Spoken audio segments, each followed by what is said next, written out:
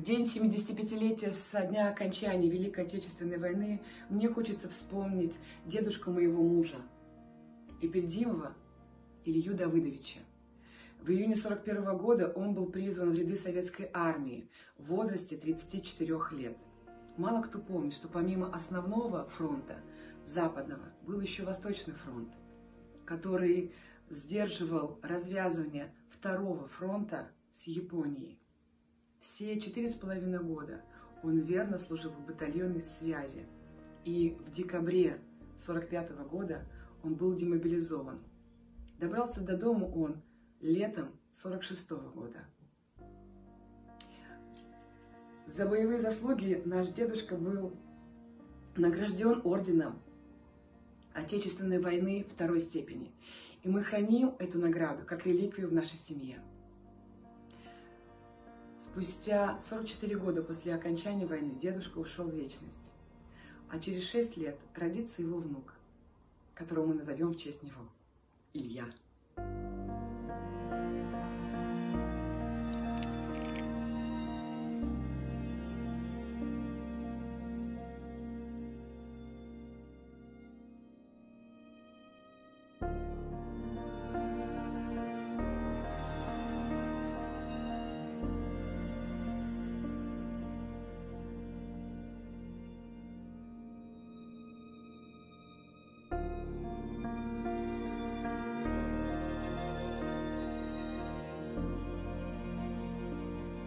Сидельников Анфим Васильевич, мой папа. Когда началась война, ему было 15 лет, а в 44 году его призвали в армию и отправили на фронт,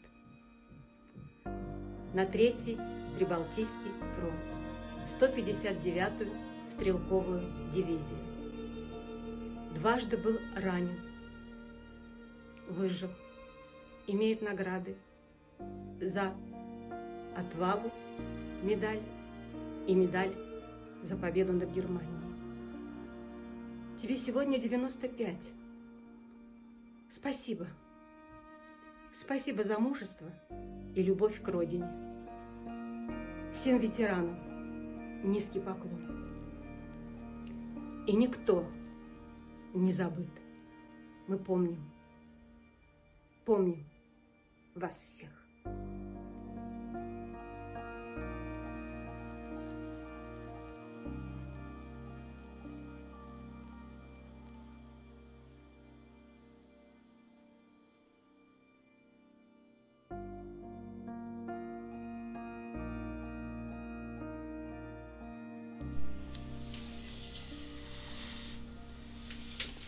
Калашник Андрей Федорович старшина.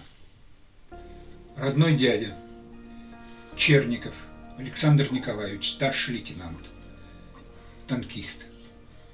Помню, благодарю. С Днем Победы!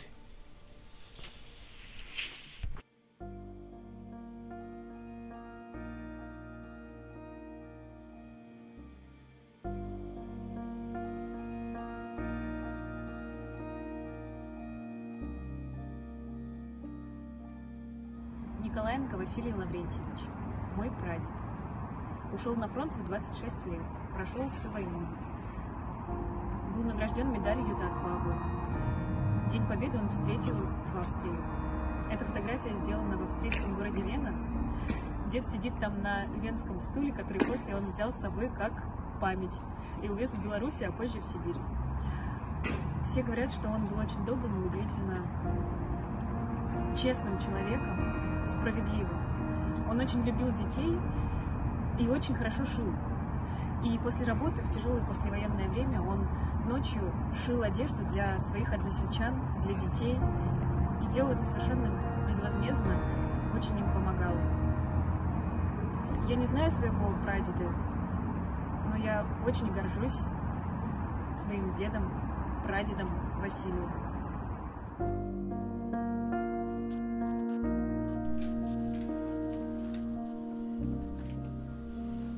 Старший лейтенант, начальник связи 16-й литовской стрелковой дивизии. Мой дед Иосиф Францевич Прутис. Благодарим, помним. С Днем Победы!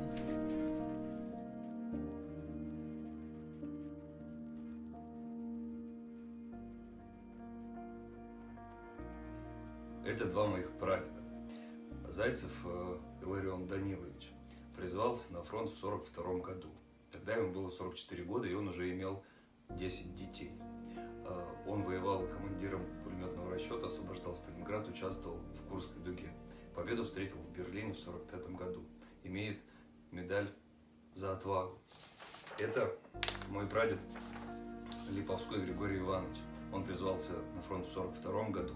На тот момент ему было 37 лет, и было у него двое ребятишек. Он воевал на Дальнем Востоке, встретил победу в 45 году э, на Дальнем Востоке и имеет медаль за победу над Японией.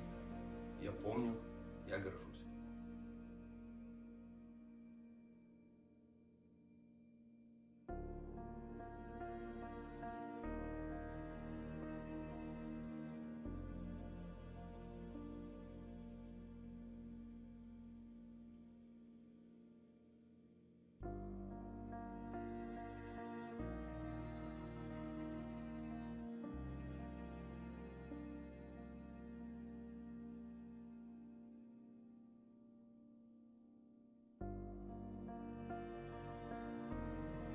Это двоюродные мои дедушки, братья моей бабушки. Все они воевали.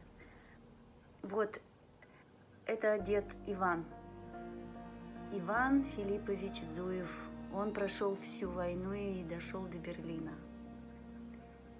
А, а это дед Петя, Петр Филиппович Зуев.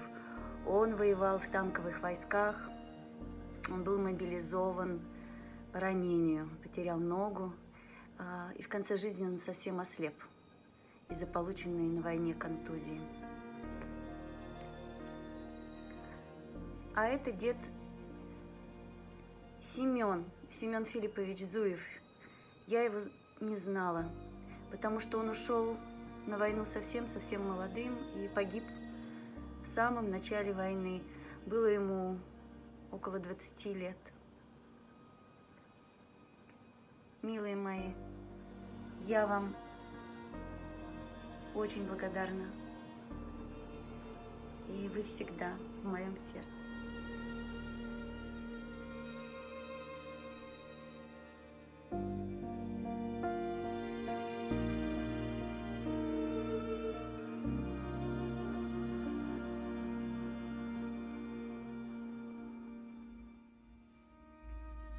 Прадед, пано Федор Павлович, ушел на фронт в начале войны.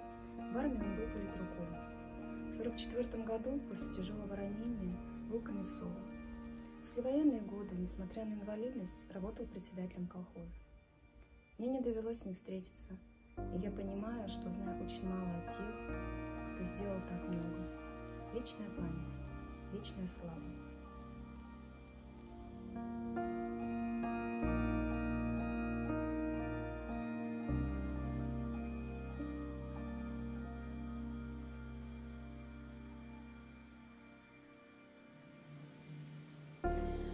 Прадед Дмитрий Иванович Соболев ушел на фронт с первых дней войны. Воевал полтора года, и когда ему был 41 год, он погиб в деревне под Смоленском. Сегодня мы празднуем 75-летие Великой Победы, а это значит, что у моего прадеда все-таки все получилось. Спасибо ему за это. Великая благодарность, бесконечная память и сердечный поклон.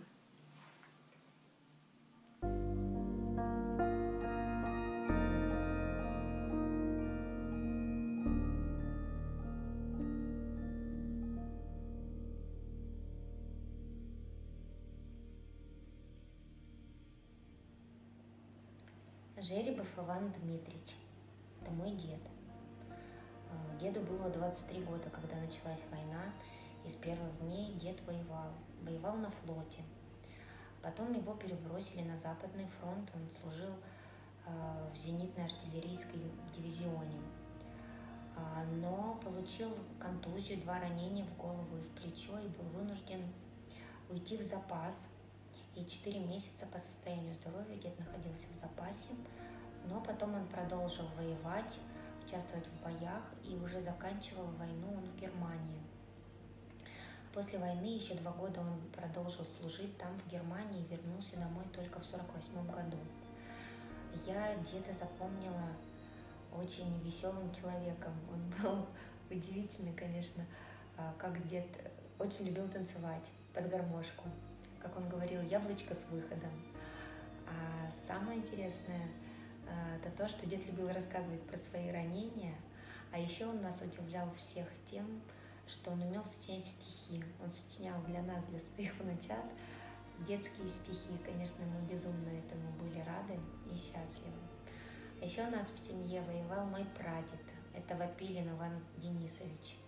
Он тоже в 41 году ушел на фронт, а в 42-м бабушка, прабабушка моя получила на него похоронку, что где-то на Украине дед погиб. А, и все его считали погибшим, но в 45 году дед вернулся. Прадед, оказывается, он был в плену.